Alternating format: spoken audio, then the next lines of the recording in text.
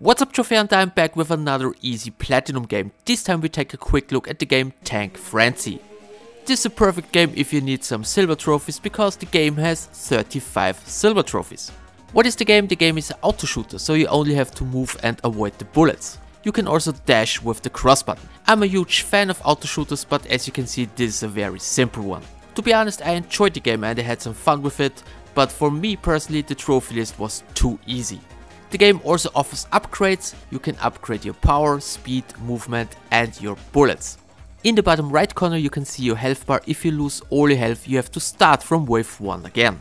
Trophy wise straightforward you need to complete wave 12, you need to destroy 48 enemies, you need to destroy the first boss, the first boss will be in wave 10 and you need to buy 10 upgrades.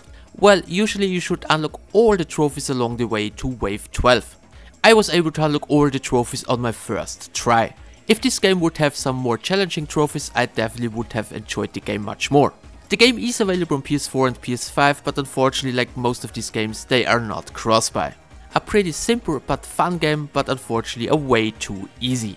And this is basically everything you need to know about the game. Any other questions, let me know it in the comment section below.